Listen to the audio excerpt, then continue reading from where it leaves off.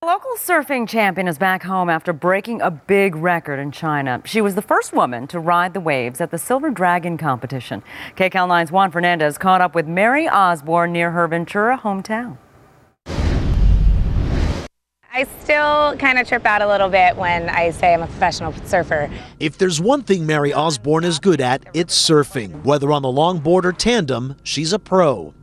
Know if you ever really know if you're good at surfing, but uh, my first sponsor uh, was about 15, 16 years old, and I started competing up and down the California coast and winning a lot of contests, and that just kind of opened the door for you know my career as a professional surfer.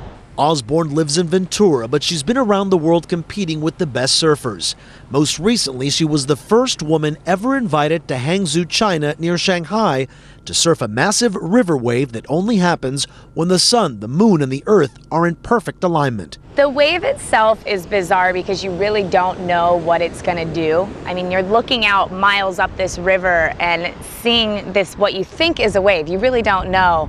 And out of the blue comes this giant wall of white water, and it changes dramatically throughout the time that you're on it. Osborne's career has included co authoring A Woman's Guide to Surfing, running a surf camp for girls, as well as time in front of the camera as a surf model.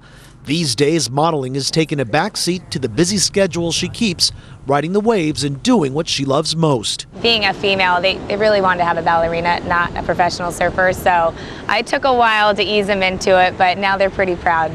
So, where is Osborne headed next? My career is never ending. Just when I think I'm done, there's a whole nother project.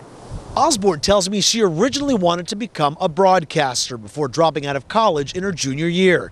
She says she's never looked back. In Ventura, I'm Juan Fernandez, KCAL 9 News. Yeah. She is so talented. Gnarly. Mm-hmm. Always yeah. wanted to learn how to surf. Really? Yeah. Mm-hmm. I tried it once. I almost drowned. Yeah. That's because I had a big, huge hat on. That's a good sign you're not a surfer. Not surf yeah, big hat. hats don't work. Who wears no. a hat when they surf? It, it, by the way, those big hats, I'm told they draw sharks.